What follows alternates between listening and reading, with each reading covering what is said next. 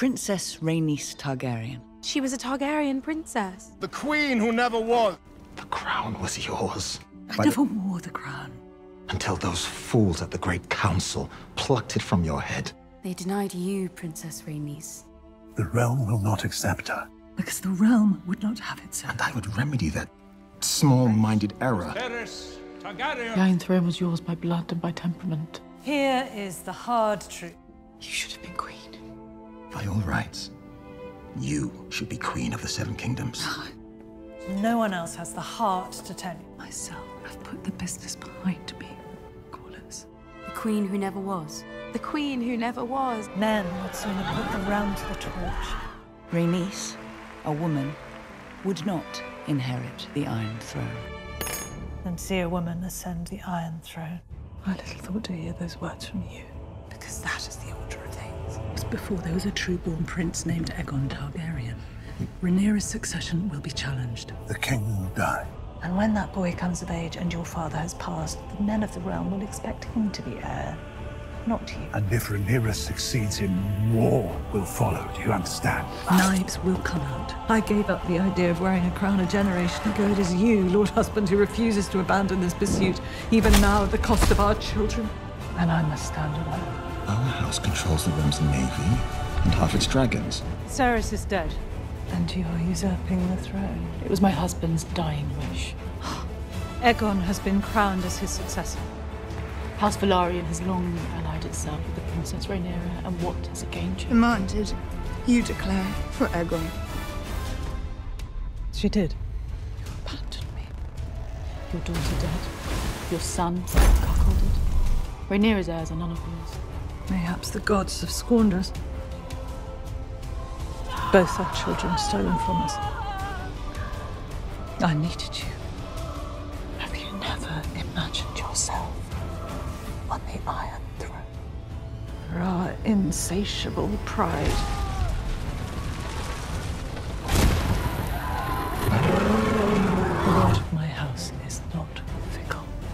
I refused her. The queen murdered my brother and stole his throne, and you condemned me. A war is like to be fought over. This treachery, to be sure, girl, is holding the realm together at the present. Every man standing round the painted table urges her to plunge the realm into war. That war is not mine to begin. Our houses are bound by common blood and common cause. This Hightower treason cannot stand. The Greens are coming for you, Rhaenyra. And for your children. You have the full support of our fleet and house. Soon they will not even remember what it was that began the war in the first place.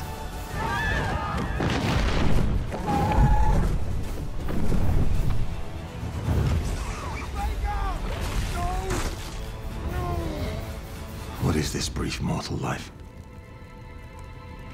If not the pursuit of legacy.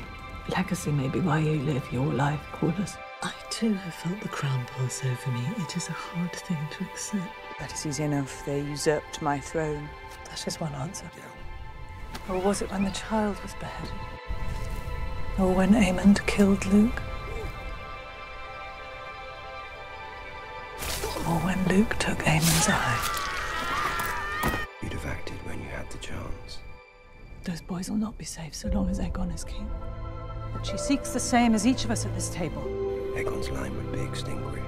An end to this conflict. And that war is now inevitable. To support the war that your vassals have been fighting in your absence. And he marches on Rook's Rest. Your cause owns a power that has not been seen in this world since the days of old Valyria. Dragons. To send a dragon. We will not let the Queen falter. You must send me, Your Grace. I know who he is, Corlys.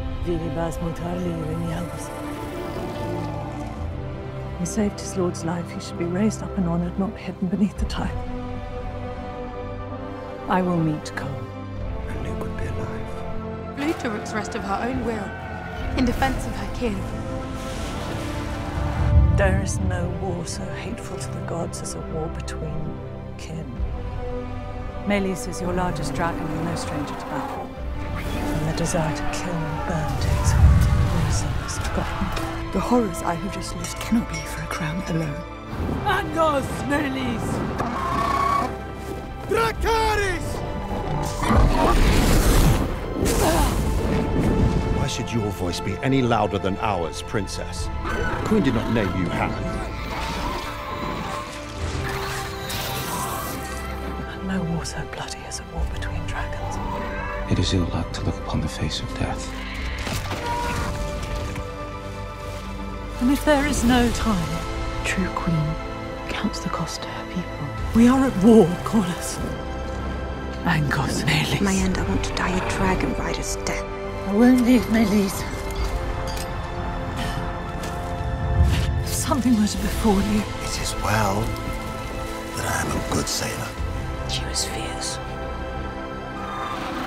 In love and in anger.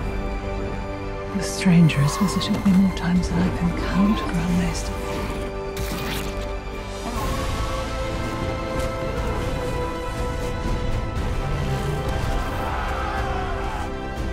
The fastest beast ever known, and she had none of him, but bent her neck to Rhaenys.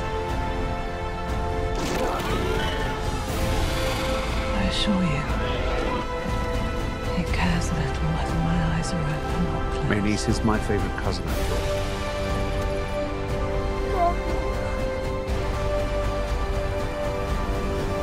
Princess. She died as she would have wished to die, with honor, in Dragonfire, the way my mother chose, and the way I myself wish to meet my end.